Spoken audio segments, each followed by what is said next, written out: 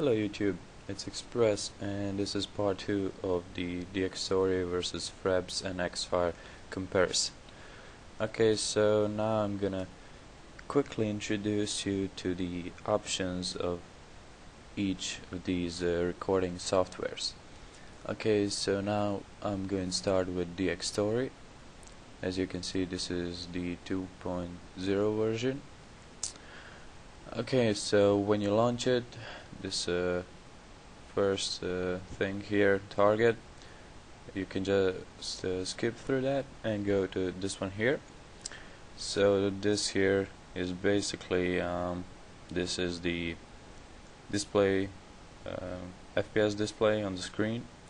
And here it says when it's not recording it will be displayed as green and then it will turn in orange now this uh, here folder this is very important that you create a new folder for the uh, recordings.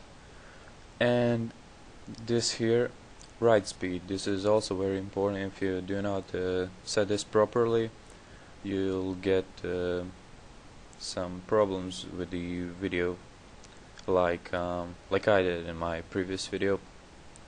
So basically what you need to do is click on this icon here. It says benchmark and click run and it will find the best uh, write speed for you. Now I'm going to stop it because I already know that 84 is good enough for me. Okay next one. These are just some keyboard shortcuts. You can change this if you want and leave if you don't want to. Now here um, this is the codec that this program use uses to record in game. So by default it says it's set to the Dxtory video codec. Now here frame rate you can choose 10 20 29.97 30 60 I always use 60 and this is the output file format you can save it as raw cap and then use this um, tool to convert it to AVI or you can automatically save it as AVI and let me see. Okay so that's it for here. Now this is audio. Um, if this is not set you have to check this box here to record sound. And here you have to choose between uh, you'll probably get a few of these options here. For me it's this speakers Realtek high definition audio to record my audio in game and I'm using this default here PCM and I guess it should be um, well just set to default. Okay now here um, this is for screenshots um, using the JPEG format and I've set equality to 100% that's all for uh, screenshots. Um, advanced settings um, check this uh, box here and make sure that you always uh, limit your video FPS so like I've done here I've limited the FPS to 60 because I record in 60 FPS and that's basically all you need to know about Dxtory okay now let's switch to fraps. Um, fraps here. Uh, this uh, this is for benchmarks we can skip that. Okay movies. Now the video capture hotkey hotkey you can set any hotkey that you want as you can see I record in 60 FPS full size and I record in-game sound.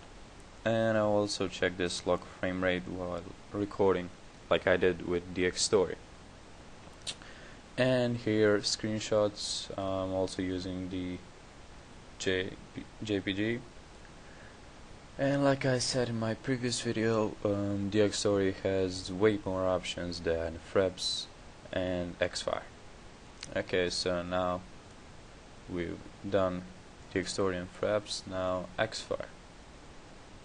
Okay, if we go to options and we go to video. Now you see that here you can only choose between 25 and 30 FPS, which is not the case with the Dxtory and Fraps. Also you can choose between full size and half size like you can do with Fraps. And um, this is the capture folder. Uh, it's automatically made by Xfire, so you don't have to do it like uh, you have to with Dxtory. And here it also says record sound and it automatically finds the best device and there's not my much really here um, like I said Xfire Real doesn't have many options to choose um, so